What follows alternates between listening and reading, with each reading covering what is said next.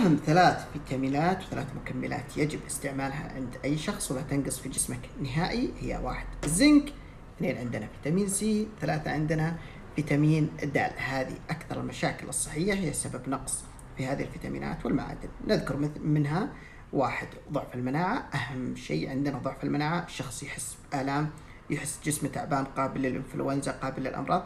هذه نقص في هذه الفيتامينات. عندك إرهاق مزمن أل- ألم مزمن متواصل في جميع أعضاء الجسم أمراض المناعة الذاتية مثل التهاب المفاصل آه، ترقرق العظام. عندك حساسية زائدة قصور في الغدة التناسلية تساقط الشعر مشكلات جلدية كذلك اضطرابات سلوكية قلق أحيانا خوف رؤية آه، عندك مشاكل في الرؤية عندك خشونة في الجلد تعرض للكدمات بسهولة هي سببها هذه المعادن والفيتامينات. طبعا فيتامين د يحتاج فحص الباقي